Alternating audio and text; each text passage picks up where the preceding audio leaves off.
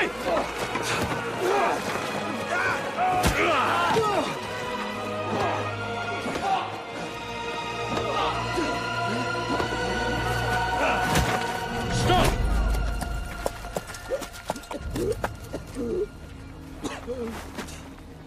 standing orders were to keep them alive and well enough to work.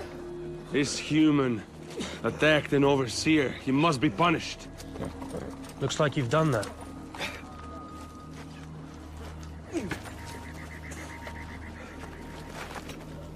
Does anyone else want to make trouble?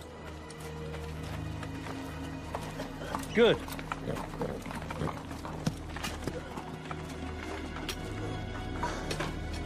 Mm.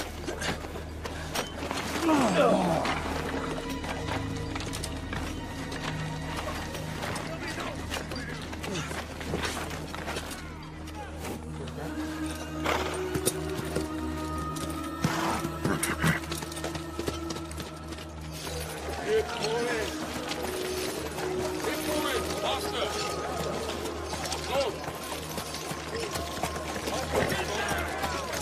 need to put a leash on your Black Fists.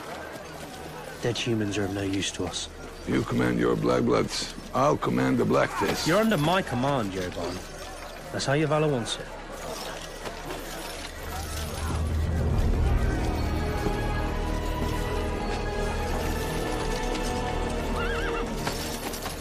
Their queen should be long dead. Their very existence is a threat to our order. Queen's well-being is the only thing keeping order.